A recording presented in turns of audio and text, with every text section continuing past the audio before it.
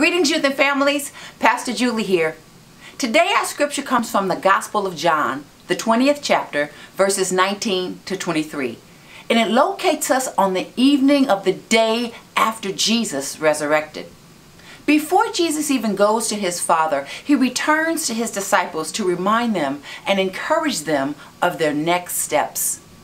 He loved them so much that he made a special visit to them to let them know that all he had said was true. And now he was passing the baton to them. This is what was happening in our scripture. Jesus returned to them on the day after resurrection and continued giving of himself, even in death. I'd like to suggest to you that when Jesus returned to visit them that evening, he did three things. One, he reassured and encouraged them. Two, he commissioned them and sent them out. And three, he equipped them with everything they needed. After everything had happened, his disciples were still afraid. And Jesus, he knew this. And because he loved them so much, and because he loves us so much, he delayed his trip to his Father to visit them, to reassure them, to encourage them, to commission them, to give them their next assignment, and then to equip them for the work they would need to do. So, number one, he reassured and encouraged. How did he do that? He continues giving of himself even in death. He comes to them and he greets them the way he left them. He says, Peace be with you. I mean, he gives and he's offering peace. Jesus is trying to say to them, It's me. Remember Jesus. Remember, I told you everything so that you would have peace. I told you that in the world you'd have trouble, but don't worry because I've overcome the world. Knowing that they would still be confused, Jesus showed them his hands and his side, knowing that the physical evidence would finally convince them of his true identity. And then he said again, Peace be with you. And with this, the disciples were filled with joy because they recognized him. So Jesus reassures and encourages. Number two, Jesus gave them their assignment. He gave them a commission. He sent them. He says to them, As the Father has sent me, now I'm sending you. I'm passing the baton to you. you. You must continue running the race that I started just like God sent me, now I'm sending you. And you can do it because I made a way for you. You don't have to remain isolated and in fear because my perfect love has cast out fear.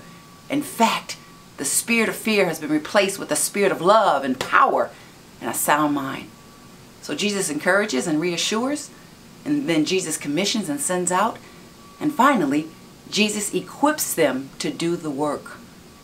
The scripture says that Jesus breathed on them and said, Receive the Holy Spirit.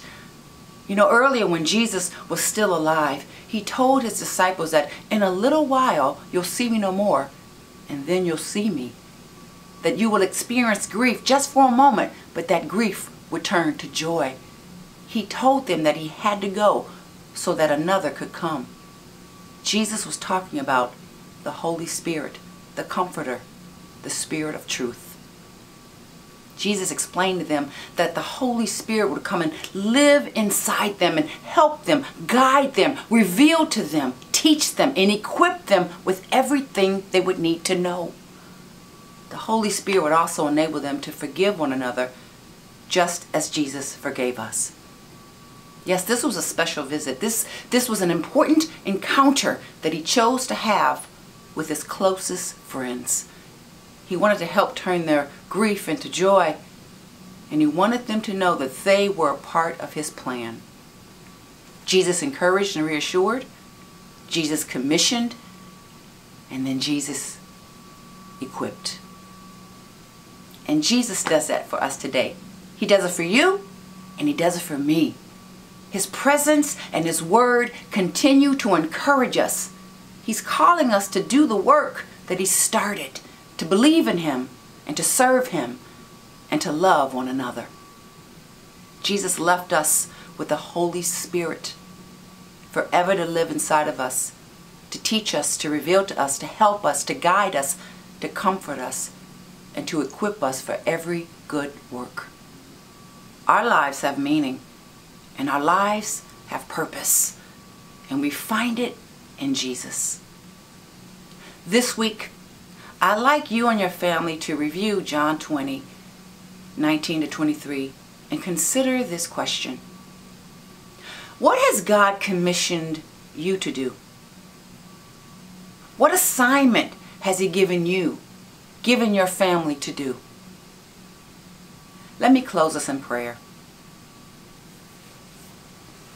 Good and gracious God, I pray that the hearers of this word today receive the peace that Jesus offered, to be reassured, to be encouraged that He has indeed overcome the world. I pray that we take the baton and we continue running the race for the joy set before us. And I pray that we allow the Holy Spirit to lead and to guide us into all truth.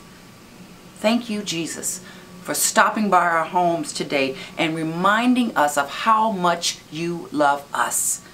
And we will do our best to return that love to you by serving you and serving one another.